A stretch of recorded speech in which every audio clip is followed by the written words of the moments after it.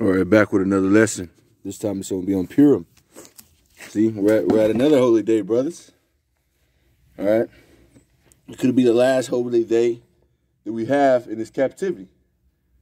That's a jet. I don't know if you better see that, but you know, this could be the last holy day we have in this captivity. Hopefully, Lord willing. Anyway, man, just like we did on Nicanor, I'm just gonna get. I'm just gonna read the whole chapter of Esther, of the book of Esther, the ninth chapter. All right. And once again, as it says in um, what is this? Uh, Salakia Judges five and eleven. This is what rehearse the righteous acts. Anyway, let's get. it. All right, so we're gonna get the whole chapter on what is Purim. Well, let's look. This, let's get let's get the scriptures to uh, see what it is, man. This is uh, the book of Esther, chapter nine.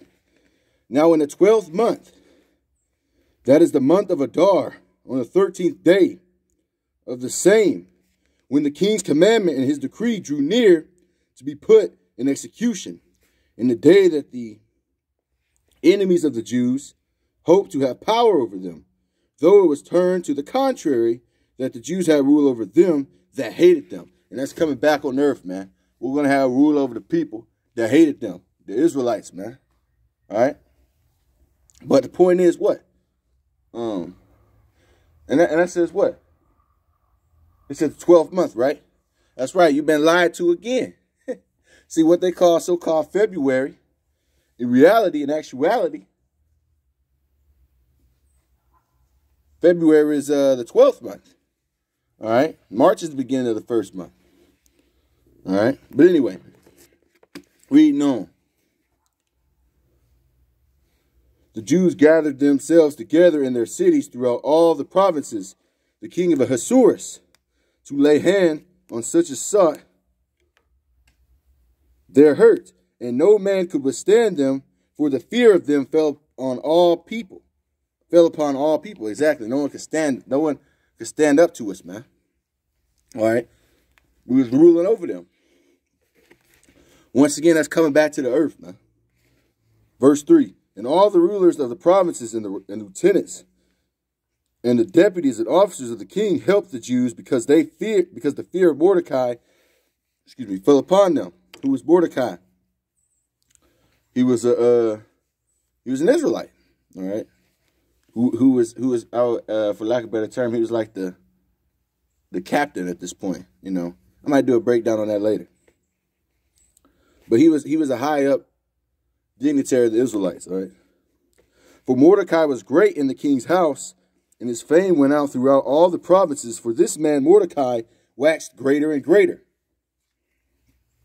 Thus the Jews smote all their enemies with the stroke of the sword, and slaughter and destruction, and did what they what they would unto those that hated them. Once again, going back on earth, man. All right? People going to get stepped on, man. And that's on the, that's in the scriptures too. Stepping is in the scriptures, man. I'll do a, I'll do a video on that, man. But yeah, these other nations are going to be trampled down underfoot, man, which is stepped on. All right. And in Shushan, the palace, the Jews slew and destroyed 500 men.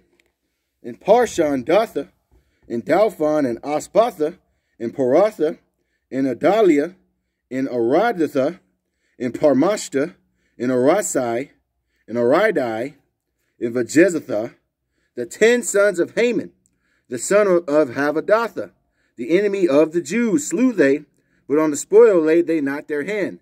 All right, who is the act? who is who is Haman? Uh, from Havadatha, he was an Agagite. Agagite. All right, the word Agagite comes from the word Agag.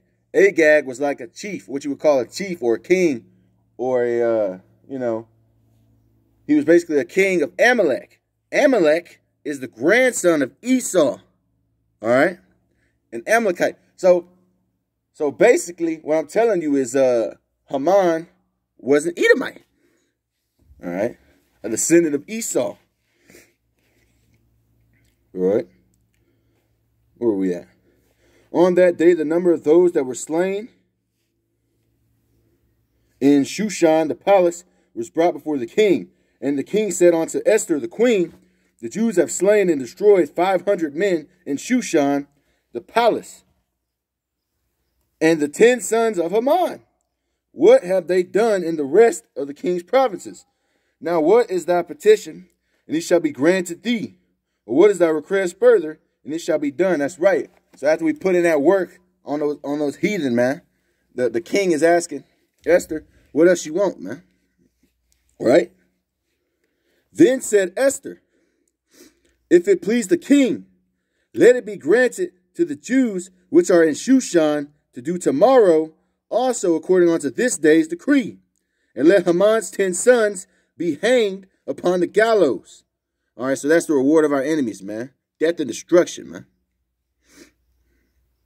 Which they never bring out in those harlot houses you call churches, man. And this judgment are coming back on earth, man. It tells you how Yahawashi, who is ignorantly called Jesus Christ, is coming back to uh rule the nations with a rod of iron. But anyway. For the Jews that were in Shushan gathered themselves together on the fourteenth day, also of the month of Adar, and slew three hundred men at Shushan. But on the prey they laid not their hand. But the other Jews that were in the king's provinces gathered themselves together, and stood for their lives, and had rest from their enemies, and slew of their foes seventy and five thousand. But they laid not their hands on the prey. So right there, on the fourteenth day, guess what? Seventy-five thousand men were, were destroyed, man were rooted out of the land of the living. All right, reading on. On the 13th day of the month of Adar, and on the 14th day of the same rested day, and made it a day of feasting and gladness, man. All right, it's a day of turning up, man. Feasting and gladness, man. Drink wine and be merry. All right.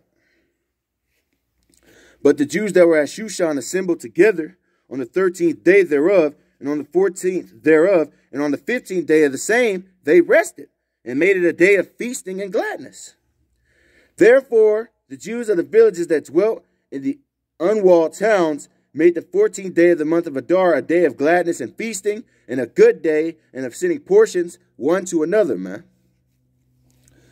Which means what? You know, it's a day of us of us congregating, communicating, uh, you know, relaxing, having a good time, man. Which is a holy day. See, the term holiday comes from the word holy. But these holidays are wicked and evil, man. Because the word holy means separate, meaning not to be like all these other nations. Not to be like damn Christmas, Easter, and Thanksgiving, man. This is a this is a holy day in the Bible, man. And Mordecai wrote these things and sent letters unto all the Jews that were in all the provinces of the king Ahasuerus, both nigh and far, to establish this among them, that they should keep the 14th day of the month Adar and the 15th day of the same yearly. And that's what we're doing right now. We're keeping the day right now. And we're I'm gonna, you know, Lord willing, I'm gonna keep it again the next year if we here next year. But but thankfully, hopefully, we'll be doing that in the kingdom, man. You know, and I'm not trying to be here next year, man. Reading on. Where's we at? As the days wherein the Jews rested from their enemies, in the month which was turned unto them from sorrow to joy, and from mourning into a good day, that they should make them days of feasting and joy, and of sending portions one to another, and gifts to the poor. All right, so feasting and joy, sending portions one to another, and gifting the poor, man. And the Jews undertook to do as they had begun, and as Mordecai had written unto them, because Haman, see, like I said, he was an Agagite, an Amalek, all right, a grandson of Esau, an Edomite, a so-called white man. Right? Where we at? Because Haman, the son of Hammedatha, the Agagite, the enemy of all the Jews, had devised against the Jews to, be, to destroy them, and had cast Pur that it is the lot to consume them and to destroy them. That's right. He wanted to destroy us. He wanted to wipe us off the face of the earth, which is just like how they want to do now. But when Esther came before the king, he commanded by letters that his wicked device, which he devised against the Jews, should return upon his own head, and that he and his sons should be hanged on the gallows. You see that?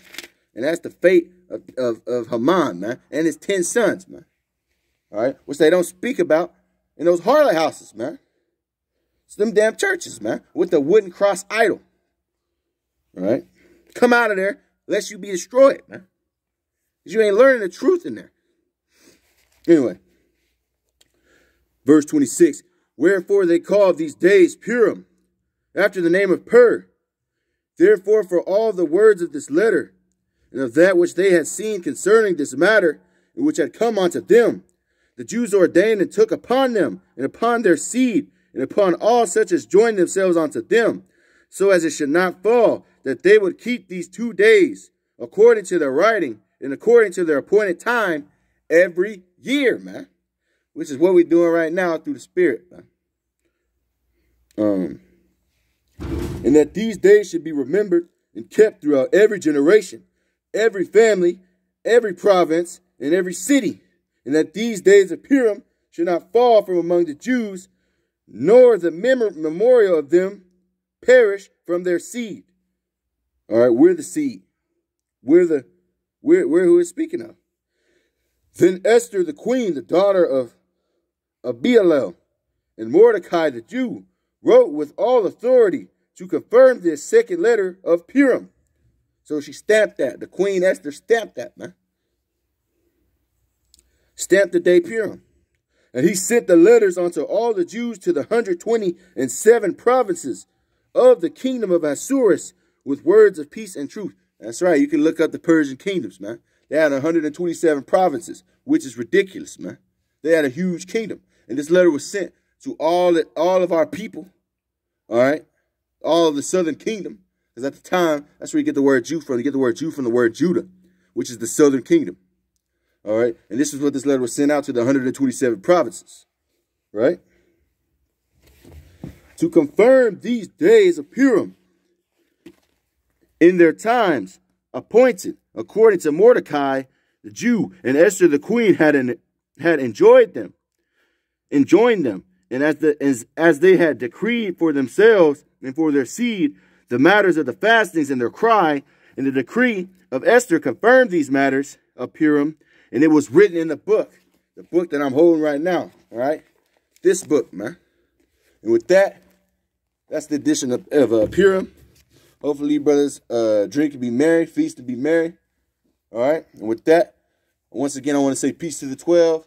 I want to give all praises, honor, and glory to the Most High Yahawah in the name of His only begotten Son, Yahawashi, man. All right? And I want to say shalom to you, brothers. That's pushing this word in the truth and sincerity. Shalom to you, sisters. That's humbling down and being submissive to your husbands, to your heads.